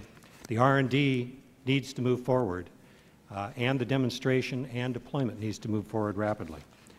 Increased thermodynamic efficiency of pulverized coal, increased efficiency and reliability of integrated gasification uh, that matches the combustion, uh, the, the uh, CO2 capture is very important, as well as improved technologies for CO2 capture. Reliable uh, technologies for CO2 storage and mechanisms to deal with the financial and technical risks in that storage are important. But a full portfolio is really required. Is required. Thank you. Uh, Mr. Sussman. That we're on right now, I, I think it's a high likelihood that we're just not going to see widespread deployment of CCS uh, before 2030 at the earliest. And uh, I would submit that that is too late. What we, what we need uh, is we need a national implementation date. Uh, we would say that that implementation date is 2016. Others might say that it's 2020. Uh, and we need to send a very clear message to uh, developers and builders of coal plants uh, that any new coal plant would be expected to have CCS in place uh, by that national implementation date. Uh, then we need to address the cost differential uh, and the potential impacts on electricity price increases and as we outline in our report, uh, there is simply no alternative but to subsidize CCS until the price of carbon uh, gets to a level that would incentivize CCS uh, in the market. And that, I think, uh, means a national expenditure, in our view, of somewhere between 35 and 40 billion dollars uh, to make CCS cost competitive uh, until around 2030 when it should be cost competitive under a cap and trade system. Okay, thank you. Uh, Mr. Hawkins. Mr. Chairman, every month of delay hurts us in attacking the climate problem and raises the cost of doing so. Every month, 10 new coal plants are, are started up somewhere around the world. Each one of those coal plants is going to operate for 60 years or more, and we have no reliable prospect that any of the CO2 from those coal plants will be captured because they're not being designed uh, to allow that. Uh, maybe it'll happen, but we can't count on it. So it's critical that the United States act, and this Congress uh, has the ability to act. We think the policy package that I outlined is the one that uh, can make a huge change, and that's a cap and trade program, and then focused performance standards for making sure that the next coal plants that get built in the United States capture their carbon. There's been a lot of talk about uh, proving things out, but uh, the way we'll prove this out is by operating these things at scale. We get the learning by doing. These technologies are all commercially proven in pieces. We need to put them together, and we need a policy package to make it happen. Thank you, Mr. Hawkins. Uh, Mr. Bauer. Thank you, Mr. Chairman. Uh, I would have a few points. Carbon capture and storage is achievable. It's realistic. And uh, the R&D and large-scale demonstration that will take place over the next 15 years will fully make that a very feasible technology. There needs investment in the R&D. There needs regulatory certainty for the investment to come from the private sector as well, as well as the actual implementation, as Mr. Moore spoke to. I think it's also important to recognize that the energy industry is the private sector. The U.S. government does not make electricity, although we do have the uh, hydropower and some uh, TVA and like that, yet the majority is private sector. So things that make it for the private sector, the signals, both uh, regulatory and otherwise, that make it work are very essential in this. Uh, One thing we did not talk about today is 60% of electricity demand is residential and commercial buildings.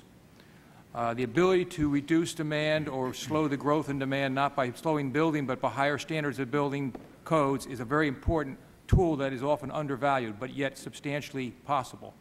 I think that's worth looking at. And then lastly, I think that uh, the committee has already indicated a recognition that our domestic resource, coal and fossil fuels, have to be an essential component, so we're talking about how do we do that realistically and, and economically. Thank you very much for your time. Thank you, Mr. Bauer. Mr. Morris. Thank you very much, Mr. Chairman. It seems to me that uh, it's inevitable that we're going to work to a cap-and-trade program, and, and we would argue that it needs to be an economy-wide cap-and-trade program, that it needs to have timelines and reduction schedules that are realistic and, in fact, achievable. We would believe that uh, credits ought to be allocated to those who will invest the capital to make a difference in the environment rather than auctioned uh, so that those who buy them can make money by the positions that they have taken. Uh, we obviously believe that the global nature of it needs to be addressed and cannot be uh, denied or ignored.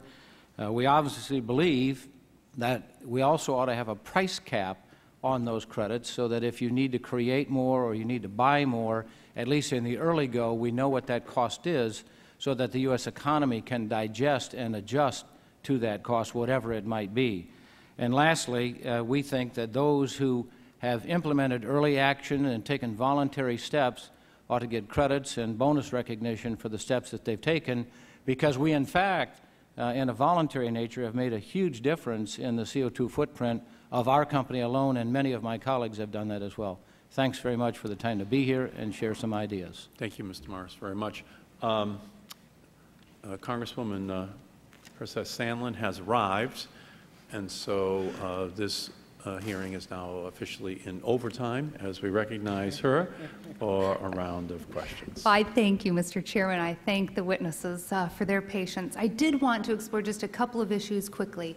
And if I could start with you, Mr. Bauer, you had talked about um, coal and biomass. And uh, are you working with and, and familiar with the, DO, the Department of Energy's workshops that they've done? They've set up by region. And in South Dakota, for example, within our region, one of our land grant universities is sort of leading uh, these workshops to help calculate the availability and sustainability of feedstocks like switchgrass, of the sustainability of biomass by region. Uh, that would then, of course, assist as it relates to those regional calculations and where the coal-fired facilities are located uh, and maybe you could just elaborate a little bit on the IGCC technology as it relates to integrating biomass with the coal plant. Uh, yes, ma'am, Congresswoman. Uh, I am familiar with that. In fact, uh, there are two entities that implement that for DOE, the Golden Office out of Denver and NETL, where I am at Pittsburgh Morgantown. Uh, we are operating mostly in the eastern half of the United States. Denver takes, as you would expect, the western half. But I am familiar with the, the process of working with the land grant colleges and the state energy boards about uh, funding to look at renewables and the, the source. Going specifically, the, the issue about biomass with coal is an issue just like biomass anywhere. Is, is there a sufficient amount of biomass in a reasonable radius of transport to make it happen? That's what I mentioned, so, uh, switchgrass and those kind of crops that have a potential to add to it. Gasifiers can and do, and Buggenum over the Netherlands does about 30 percent, that's a wood waste biomass that they use over there with coal to produce electricity. They are looking at building another plant and actually capturing the CO2 and storing it, sequestration. So it is doable. There are challenges because of the characterization of the biomass and the different kinds of coals, and those are all technologically able to be addressed, but they aren't being done regularly, so there will be R&D issues that have to be done with in the process of implementation. Do you think one of the other challenges, um, and I guess maybe not a challenge, but the importance of uh, facilitating getting these measurements and calculations because of the issue of biomass for electricity generation and biomass for transportation, biofuel production? I mean, do you, do you anticipate some sort of tension developing there if we don't get these calculations and measurements so we can adequately define what are reachable goals on both the electricity sector and the transportation sector side of, of the equation here? Yeah, I, I believe there is, there is a, a realistic marketplace just like there is today. Natural gas is one of the fuels that cuts across all marketplaces of use. Uh, we've lost uh, fertilizer industry offshore. We're importing natural gas from other countries in the form of fertilizer today. Uh, we lost chemical production because we use natural gas for power generation and other things. So the price in the marketplace drives that. And the same thing will be true on competition for biomass. For both uh, biofuels direct conversion and thermal conversion of biomass and coal together to perform uh, coal biomass liquids for transportation. I think the economics of the market will work and sort that out and also will drive towards certain crops besides food crops as sources for rapid growth of biomass. Uh, Thank you. And then one final question, which anyone can uh, uh, additionally respond to either the issue of the biomass uh, in the coal-fired facilities and what your uh, company or, or what the sector uh, is doing to respond to that. But Mr. Hawkins, specifically, when you set forth the three-part policy package uh, for a comprehensive cap-and-trade system, where do you see American agricul- agriculture uh, playing a role in that system? Because when we traveled to Europe uh, earlier this year, they don't include agriculture uh, in their cap-and-trade system, and I think that they made a mistake in setting up their system not to. And I think there's great potential for agriculture and certain farming practices and grazing practices uh, to play a role in helping store carbon, especially as we transition to these new technologies. So your thoughts on that, please. Uh, Thank you, Congresswoman. Uh, We think that uh, agriculture has an important role to play, and we think it would be important to design a cap-and-trade program to create incentives for practices that will uh, reduce uh, greenhouse gas emissions and enhance the storage of, of carbon in soils, for example. Our view is the best way to do that is to have a portion of the allowances that uh, will be administered under any cap-and-trade program be available on uh, basically a, a, best bid basis for projects and programs in the agricultural sector uh, that will reduce these, uh, these uh, greenhouse gas emissions. And, and that way, uh, American agriculture could be incented by being able to receive either allowances directly or the proceeds from allowance sales in order to support these programs.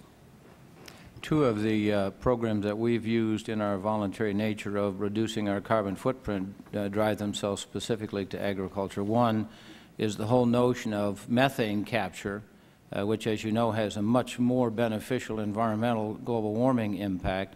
Uh, farmers create, uh, through uh, contracting with firms that do that work, uh, particularly in the manure uh, side of the business, that capture the methane, create credits, which we in turn would purchase and put in our bank to make certain that we have credits uh, to uh, take against our own global warming footprint, as well as no-till farming, which is uh, another breakthrough undertaking. So including the entirety of the U.S. economy and the entirety of the U.S. creativity uh, is what is going to be needed if we're going to be successful in this endeavor.